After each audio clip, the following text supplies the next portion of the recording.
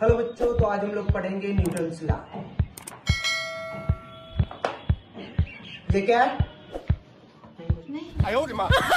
बदतमीज मोबाइल चला रहे हो? टीचर के सामने? हमारे समय में हम लोग सर के सामने मन लगा के पढ़ते थे। और तुम लोग? सर आप बहुत लकी थे सर आपको इतने अच्छे टीचर मिले आपकी जैसी किस्मत हमारी कहाँ है। हाँ?